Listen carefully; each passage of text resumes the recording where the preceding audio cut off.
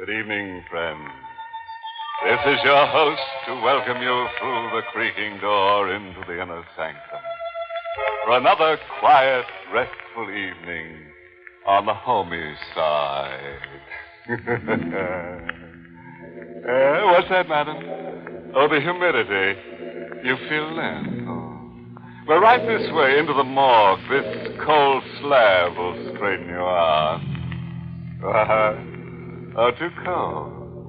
Well, how about a nice hot poker game? Cutthroat. well, how about a nice sociable game of bridge? No? Oh, I see. Yes, afraid of the stiff competition. Uh-huh. oh, you play. Well, remember, you gotta pay up if you lose. We got enough deadheads here.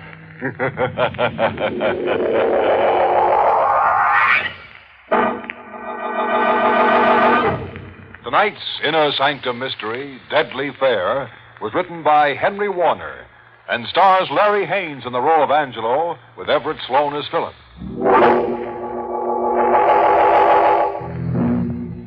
Just a moment. Don't settle back in your chair. You're going for a ride. Ready? It's the dark hour before dawn. Along the tree lined suburban highway, the headlights of the speeding sedan poke two long yellow fingers through the swirling dew. Behind the wheel of the sedan, a local taxi, sits Angelo Manetti, the cab driver, the cold nose of a madman's gun pressed against the back of his neck, wondering by what fate a man like himself will live through the beachheads at Salerno and Anzio, only to come home to die like this wondering how long before the madman's trigger finger bends in a nervous twitch and makes a widow out of his wife, Josie, and a fatherless boy of a seven year old son, Johnny. Sorry I yelled at you tonight, Johnny. Sorry I made you cry, but if I ever get out of this, you can have all the crayons you want. A hundred boxes of crayons, and you can mark up all the walls. You can mark up the whole house. Pray for me, Johnny. I can't die like this. What a break. Just because I was a good guy and changed shifts with Connolly. I guess it was just in the cards for me instead of Connolly.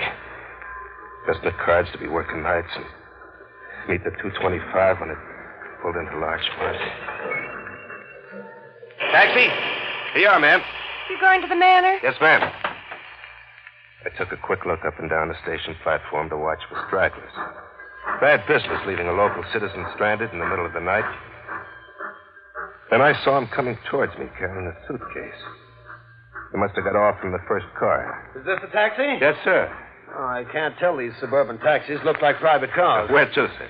You go to New Rochelle? I slept past my station. Well, good thing you only slept by one station. Sure, I'll take you. Uh, if you don't mind riding while I drop this lady. Thanks. I took the mic off the dashboard. Called the office. 64 calling radio taxi. 64 calling radio taxi. Come in, 64. Station the Manor, then Rochelle. Check. I put the mic back on the dashboard hook and settled down for the run. How are you boys doing since you installed the two-way radio service? Oh, fine, fine. Must say, it's improved the service. Is it dependable? Oh, yes, ma'am. No trouble at all. Circuit's always open for us to receive messages. If I want to talk back, I just press the button on the hand mic. Very simple. Uh, what's the address? 76 Manor Lane. Calling 64. Radio taxi calling 64. Hey, Angelo, listen to me. What's eating you, Louie? Place on fire? Hey, Angelo, just got a police call. Don't pick up a guy with a tan raincoat. The cops are looking for him. He's a killer. Uh, take it easy, Louis. Now, what's this you're saying about a killer? Heaven's sake. The cops say he got on at Grand Central with a ticket to New Rochelle. Uh, so what? But listen, Angelo, the guy didn't get off at New Rochelle. You pick up someone with a tan raincoat? I didn't dare turn around to look. To see if the man in the back seat had a raincoat. You could almost hear the woman sitting beside him, holding her breath. And then I recalled the guy as he walked down the station platform. I recalled plain that he did not have a raincoat, only a suitcase. Will you pipe down, Louie? You better get some coffee at the diner. If you fall asleep, you'll be having nightmares. Roger. Good thing I have no raincoat, madam. What? Uh, yes, of course. Strange that all that should stand in the way is a raincoat. Uh, how's that? That driver, right there, please, in front of the next street light. How much is it? Uh, 35 cents. Thanks. Uh, your change. She just waved her hand as if telling me to keep it. Change from a dollar. She, uh, seems kind of scared, if you ask me. Are you Well, scared? What for? the killer? Ah, that Louis, he gets excited about everything, always adding a little out of his own head. Uh, what's the address in New Rochelle? Bayside Lane, 36. Uh, 36 Bayside Lane? Yes, know the place? Uh, off Hillside Road, long driveway? That's it. I drove a party up there from the manor tonight. What did he look like? I didn't say it was a hint, did I? Well, wasn't it? Yeah, yeah, it was. Tall chap, slick looking, mustache. Well, look, I, I didn't talk out of turn, did I, mister? Not at all. I rather expect I'll find him still there. What's your name? Angelo Minetti? Mine's Baker. But don't let me embarrass you, Angelo. It's quite all right. That party you drove to my house is seeing my wife. Isn't that what you think? Oh, you got me wrong, mister. I don't think nothing. Don't you really? Lots of others think so. Rather common gossip, as they say. But I'm not angry. Not at all. I'll take care of everything once I get home. Calling 64. Radio taxi calling 64. Hey, Minetti, Come in, Louie. got some more dope on that killer. He got into Grand Central on the train from Albany. Porter in the club car told the cops a guy was making cracks about having a gun and uh, taking care of the wife and the boyfriend. Well, so what? What are you bothering me with it for? Go call the Daily News or the Mirror. Well, wait a minute. Now, here's what I want to tell you. The cops at Mamaroneck got on the train and found the raincoat hanging on a hook in the first car. Conductor thinks it was left by a guy who got off at Larchmont with a suitcase. How about that fare you picked up? There was a gun in my fare's hand. And the gun was at the side of my head. His finger was on his lips, warning me. You did say Rochelle, didn't you? I could see the trigger finger bending. And his head shaking from side to side to tell me to say no. Uh, no, no, Louis. I, I had two. Uh, one to the manor, the other to Rockdale. Not, not Rochelle. I didn't get it right the first time. Forgot to call you. Also, also, he didn't have a suitcase. Oh, that's a relief. Say, uh, how's about coming back to the shack so as I can get a bite at the diner? Yeah, sure thing. Soon as I'm free. This guy wants me to wait for him. Take him back to the station. Roger. Nice work, Angelo. I got a wife and kid to think of, mister. So want to go to 36 Bayside Lane? That's right. Better slow down. There's Bayside Lane right ahead. All right, this'll do. I wouldn't like it if they heard us coming up the driveway. It'll be a dollar and a quarter, sir. Get out, Angelo. You uh, want me to get out? That's right. You're coming in with me to be my witness. Witness? What for? Divorce, maybe. Oh, please, Mr. Baker, that's not right. I can't afford to get mixed up like this. Ruin my taxi. Get out. And don't slam the door. Yes, sir. Carry my bag, please. He steered me with the gun in my bag. Slowly picking each step in the dark, across the lawn shielded by a high hedge, and around to the back of the house, to the kitchen. The lights were on, and we could see his wife and the boyfriend making themselves some bacon and eggs. All right, Angelo. Pull open the door. What? Hello, Doris. Hello, Walter. What are you doing with that gun? Please, Philip. Excuse me while I close the door, Walter. No use waking the neighbors. Oh, Doris, this is Angelo. Walter, Angelo. The introductions were polite, all right, but deadly. And he looked like he was enjoying it, a big joke. But there was nothing funny about that crazy grin on his face and the way he kept waving the gun around at the three of us. Well, Walter? Philip, please, you frighten me.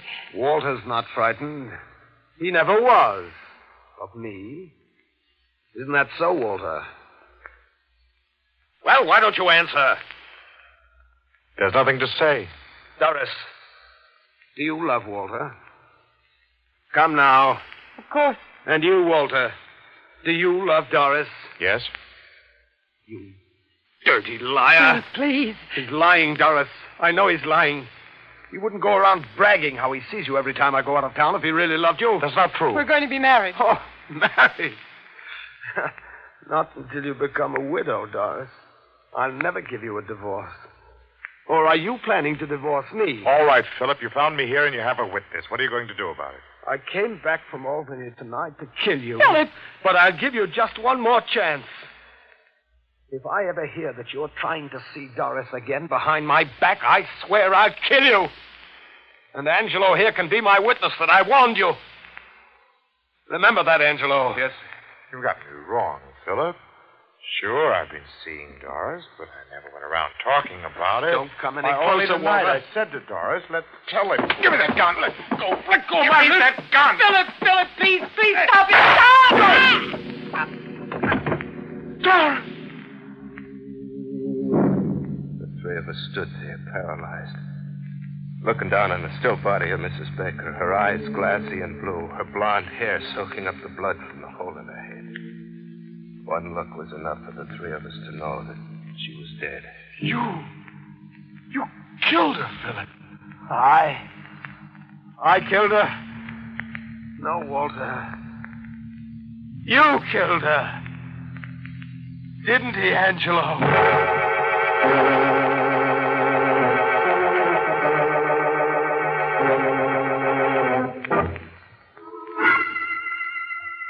Of them stood there, glaring at one another across the body of Mrs. Baker.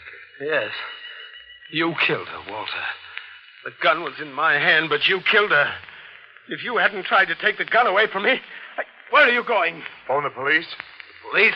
Yes. Put down that phone. Put it down. Don't you think you ought to put that gun away now? He's right, Mr. Baker. I don't think he even heard me. He kneeled down beside the body of his wife and stared at her tenderly. Suddenly, his mouth started to move like he was choking for air, and his face twisted in angry pain and hate as he looked up at Walter. I could see Walter sensing it, too, realizing that Mr. Baker was going out of his mind. There was a heavy glass ashtray by the phone. I could see Walter slowly reaching for it. Mr. Baker looked up and jumped back as Walter threw it. You stop! You stay out of this, Angelo! Don't shoot! Uh, uh, doctor. Angelo. Doctor. You're going to die, Walter. Die like Doris. Angelo. Help me. Doctor. Don't bother, Angelo. He won't need a doctor. Stop it. No, no, don't do it. Mr. Baker, give him a chance. Please, give him a chance. Doesn't need a doctor now, Angelo, does he? Go on. Bend over him. See if he needs a doctor. He's dead. Yes. Now they're both dead. Both dead. What do we do, Mr. Baker? Do? What? What is there to do? The police. We ought to call the police. They'll take me away from Doris. I don't want to leave her. No, I mustn't leave Now, Doris. please. Please, Mr. Baker, won't you give me the gun? The gun? No. No, I got the gun to protect myself from Walter. But, but I'm not afraid of Walter anymore. He's, he's dead. Walter's dead. That's right. Doris is dead and Walter's dead. We can't leave them here. We must take them away to a nice, quiet place where they can be alone forever. We. We take them away in your car, Angelo. My car? Yes, Angelo. You must do as I tell you. It will be their funeral car.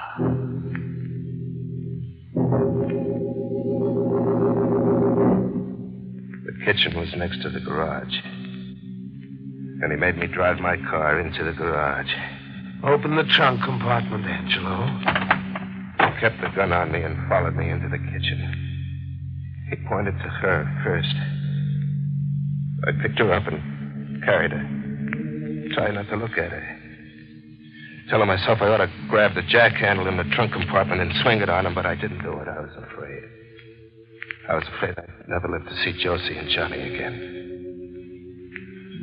I placed Mrs. Baker in the trunk gently. And then he made me go back for the other one. Push him in, Angelo. Or his coat will stick through the door when you close it. That's better. Very good. Close the trunk. As I locked the trunk door, I grabbed the handle and bit my lip to keep from passing out. Don't you feel well? Hot? I'll be all right. Yes. You'll be all right as soon as we hit the road. The fresh country air will straighten you out. Get behind the wheel, please. I got in and he got in the back seat. I must remind you, Angelo. I'll be right here behind you. With this gun in the back of your neck. Don't try to trick me. Radio taxi calling 64. Hey, Minetti.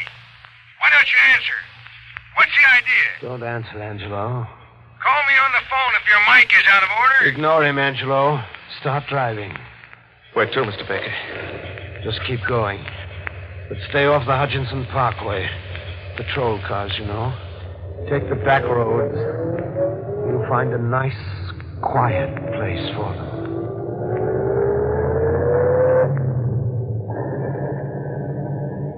We went north on the post road. Louis' call breaking in on us every minute or so. Calling 64. Radio taxi calling 64. Persistent fellow, isn't he? Well, well, he's sorry. Expect me back to re- relieve him so he can go down to the diner for a bite. Pass me that cigarette lighter on the dashboard. Don't you hear me? I want the cigarette lighter. Oh, uh, it's not working. You got any matches? In my pocket. Let me have them. I reached into the side pocket of my jacket, fumbling through my handkerchief and keys for the pack of matches. And then my fingers touched the crayon. A small piece of black crayon, no bigger than an inch long, with a paper wrapping. The small piece of crayon I'd taken away from Johnny after I yelled at him and made him cry for marking up the wall. What about those matches? Uh, yeah. Here you are. I handed over the matches.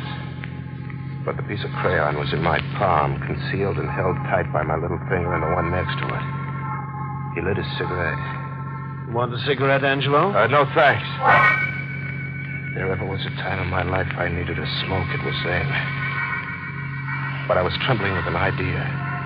An idea to make my microphone stay open so Louis could hear me without Mr. Baker getting wise. But I had to hold on to the crayon. I couldn't take a chance reaching for a cigarette. I might drop that crayon. I waited for Louis to call me again. Calling 64. Hey, Minetti. You all right?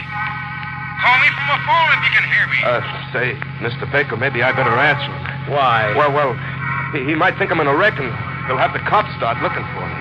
Yes. Yes, you're quite right. Very well, talk to him. But be careful what you tell him. I picked the microphone off the dashboard with the hand that held the piece of crayon. 64 calling radio taxi. Where the heck you been, Angelo? Uh, let me explain, Louis. He's sitting here without a relief. Fine pal. Depending on you. Get back here. I'm going down to the diner. I kept gabbing to Louis and forcing the crayon into the button on the mic, right into the hole that housed the spring button, hoping the paper wrapping on the crayon would wedge the button and keep my sending circuit open. Uh, Louis. Uh, Louis, I'm fixing a flat. Uh, mu- must be a loose wire. I-, I didn't hear you until just now. Be back as soon as I can. Roger. I put the mic back on the dashboard hook, praying the crayon wedge would hold. As long as that button was wedged down, Louis couldn't talk to me. As voice came through, I'd know the crayon had slipped out. I waited. Seconds seemed like hours. No word from Louis, so the wedge was holding. I raised my voice so it would carry the two feet between me and the mic. Uh, M- M- Mr. Baker, uh, are you gonna kill me too? Kill you? Yeah, yeah, like like like you killed Mrs. Baker and, and Walter. I.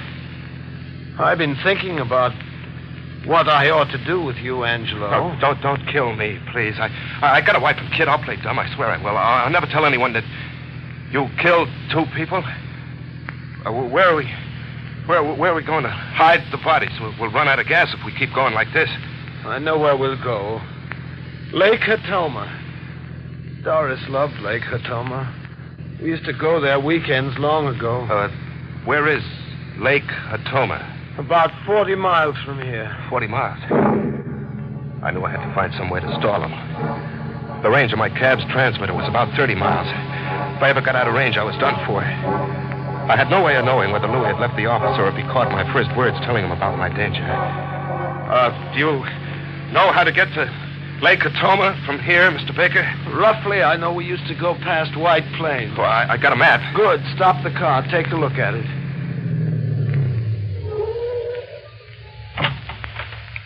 Now, let's see. White Plains. Uh, yeah, yeah, Lake Hatoma. There it is. Uh, we go up here and then. Uh huh. I know where it is. Sure, sure. All right, let's go. We'll go the most direct way. No detours, mind you. Oh, no, sir. No, sir. We're, we're on Weaver Street now.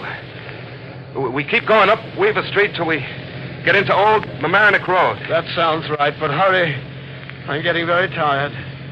Step on the gas. I heard him, but I played dumb. Don't you hear me? I said let's go faster. Yeah, sure.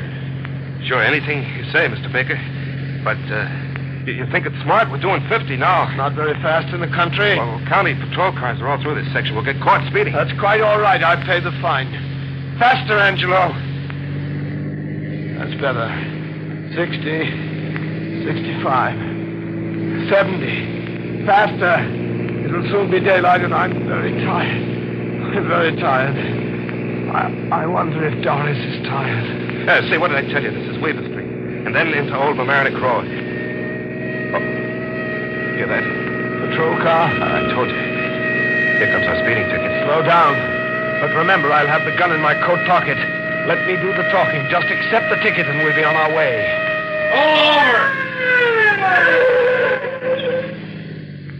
patrol car let me roll ahead and swung in behind us, and we came to a stop. Where do you think you're going? You were doing 80.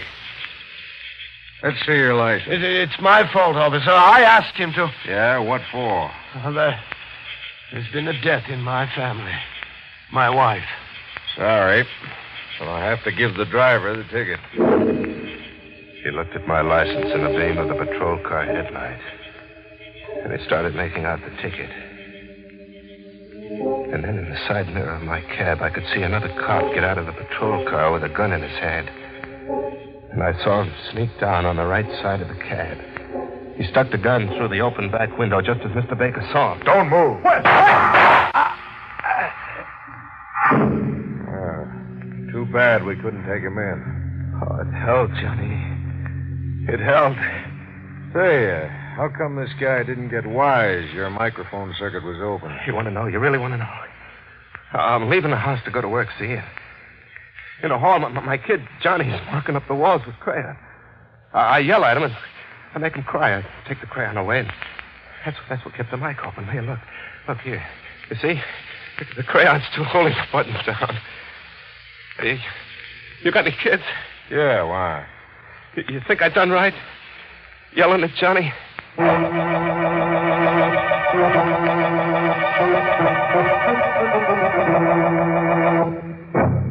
Which just goes to show you a fella can do a lot worse than stopping in the middle of the night for a lovely siren. As you fathers, next time you find Junior's crayon scrawls all over the house, he means well.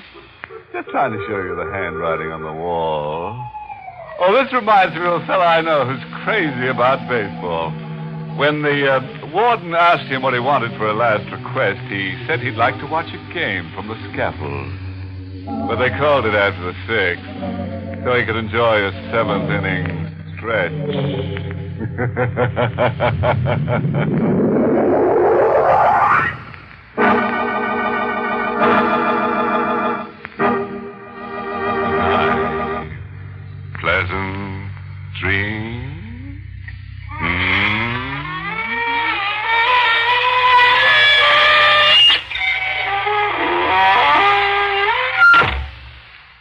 Sanctum was heard in the United States over CBS, the Columbia Broadcasting System.